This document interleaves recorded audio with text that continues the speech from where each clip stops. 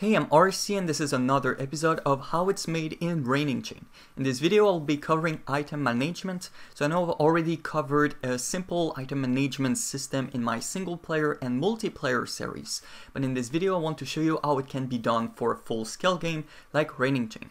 So for those who don't know, Raining Chain is a MMORPG I'm currently um, developing. If you want to try out, you can click um, the link in the description. So first of all, I'm going to do a quick overview of the different functionalities related with items that are in Raining Chain. So first of all, there's the inventory panel where you can see all the equipment, all the materials that can be used for crafting and improving your equipment. And there are also the random um, items. Items can be used, so you can open it. This is a, a dev tool. There are also materials um, that can be used at the anvil over there and equipment. So equipment in Raining Chain are randomly generated. So every equipment is unique. So there's only one mace level 20 with power 218, um, etc. So this complexify um, the code quite a lot, like you will be able to see um, later when I will cover the randomly generated um, items. Um, so there's those items and there's also another category of item called quest items. So in Raining Chain there are 28 quests and each of them has maybe an average two or three items. So those items are special, they cannot be traded. So in Raining Chain there's trade. So for example I can trade that player and give him a bunch of rubies for example. Um, so quest items are special, you cannot trade them, you cannot um, like bank them. This is the bank. And as you can see, a player can have a lot of items. So you can have hundreds of items at the same time. And this means the efficiency of the item list needs to be um, pretty good. And you can also sell stuff and buy back items after selling them. So there's also a, a system like that. So now that we know a little bit more about the features in a Raining Chain, let's see how they are actually coded. So the most important class related with item is main item.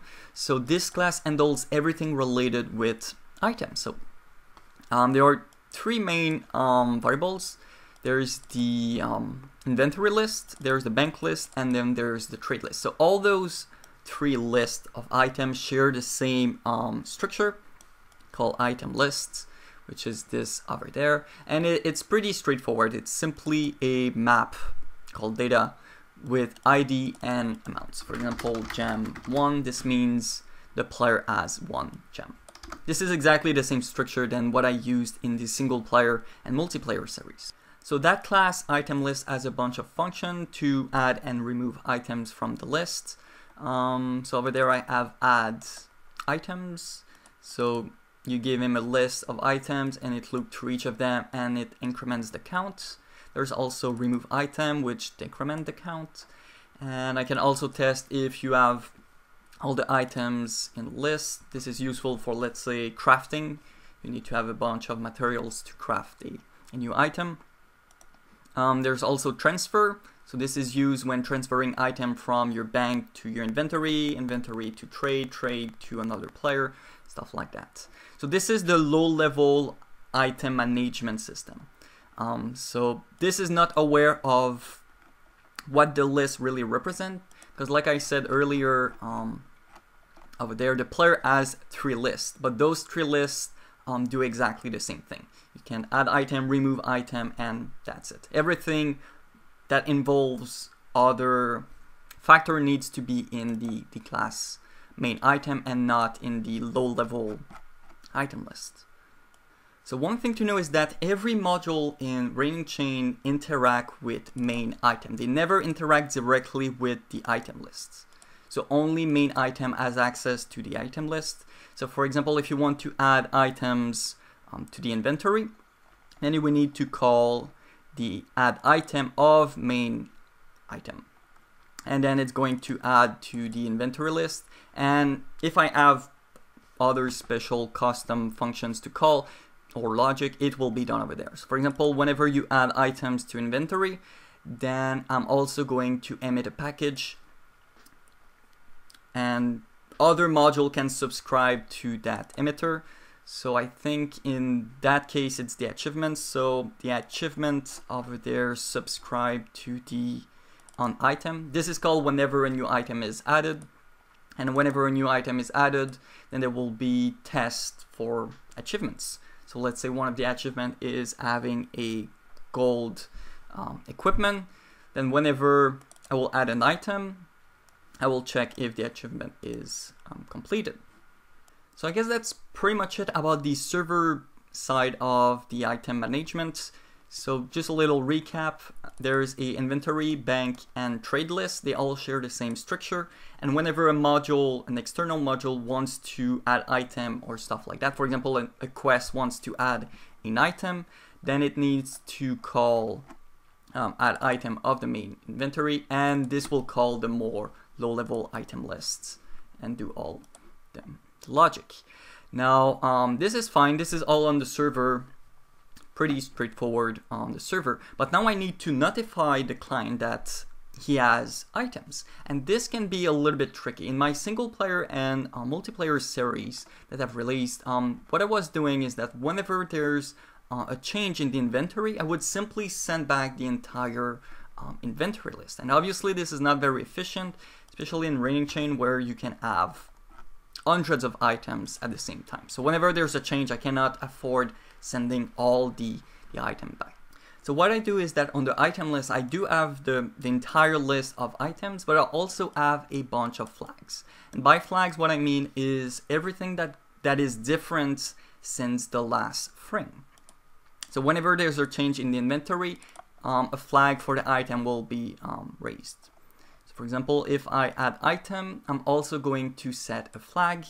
For example, A, the gem count is now 10, and at the end of the frame, I'm going to send everything that got changed. So I don't send everything, I only send what got um, changed. And one thing to know is I don't send the variation. So I could send a the goal count plus one, goal count minus one, um, but the problem with that, with only sending the variation, is that if for whatever reason the client misses a package, um, then it will be forever in desync. Well, if you send the final value like I'm doing, even if you miss a package, you will get back in sync on the on the next uh, message. So I basically set a flag, then won't really cover this too much. It's kind of badly coded. Normally you don't want your low level class to use function from the higher level class, but it was simpler that way.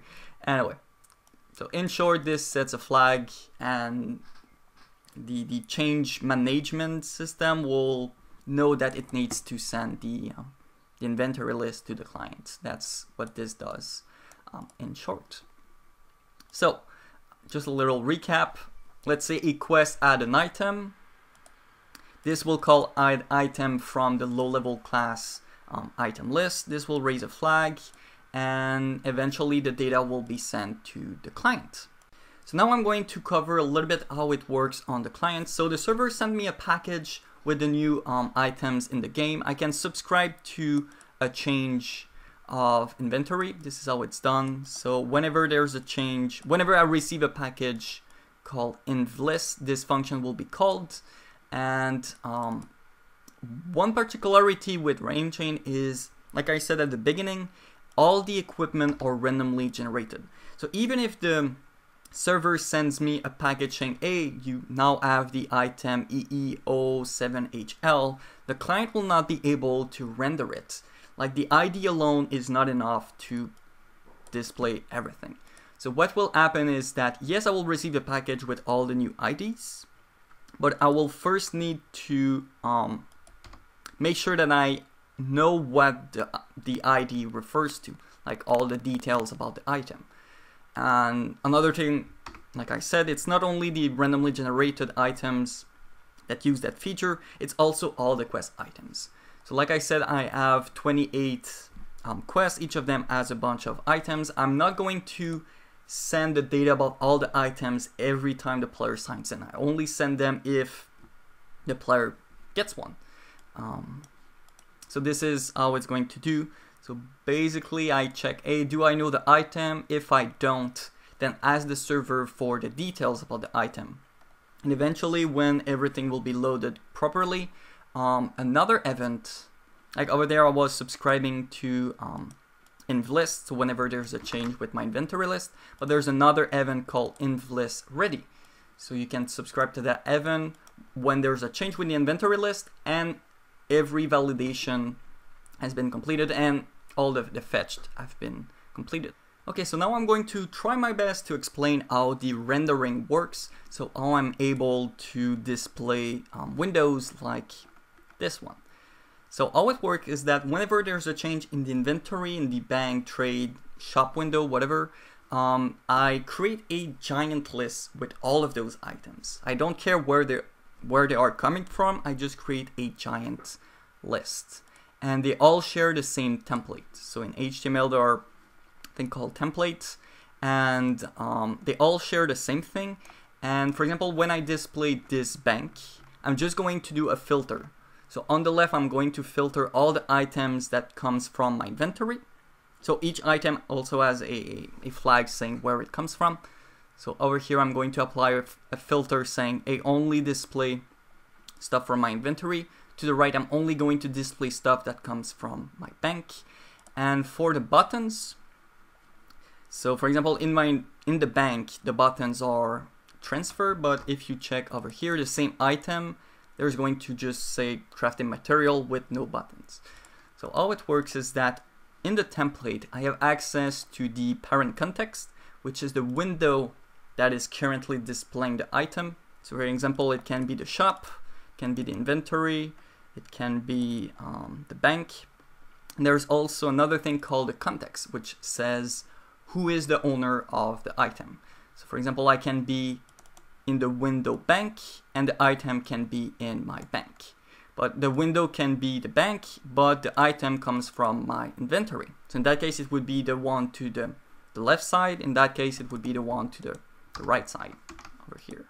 So this is context inventory and to the right context bank. And this is like a, a condition to show. So if this is true, this um, div will be shown. And there are buttons. When you click on them, it's going to call um, different function. So transfer bank to inventory, for example. So yeah, all of that can be a little bit confusing, especially if you're not familiar with um, DOM rendering and um, libraries like Vue.js, which is what I use for the, um, the binding. So being able to put variables inside HTML. So normally with normal HTML, you cannot um, do that. So one thing I want to mention is that even though this solution works, it's not really ideal. So normally you don't want to put everything in one giant template. You want to split it in multiple parts. So for example, each window would be responsible for its own um, item um, template. Um, but in order to reuse code in HTML, it's a little bit kind of hard. You need to make components and templates and work with that. Um, but it, it's doable. I was just lazy with um, this code. So I guess that will be pretty much it about this video. I hope you liked it. And um, don't forget to check out my game, Raining Chain. Um, the link will be in the description. So like I said, I'm still actively working on Raining Chain. I'm releasing new updates pretty much every week. In the last month, I've released the PvP Arena, so where you can do PvP with your friends, and there's a bunch of PvP settings. I've also released um, a specialization system, kind of like a class system, so you can choose to be a warrior, range, or mage. And there's like a, a giant grid with a bunch of abilities and all of that. So this was released recently, and I got a lot more features than I'm planning to do. Um, and one other thing I want to mention is that um, if you have more questions about Chain, it can be about how to code and stuff like that, you can join the Discord channel. So this is a chat where you can um, ask questions. So many players in Raining Chain know about that um, Discord chat, but I've never mentioned it in um, on YouTube. So I will also put the link in the description. So if you want to know a little bit more about how I coded um, Chain, you can ask there. So thanks a lot for watching and see ya.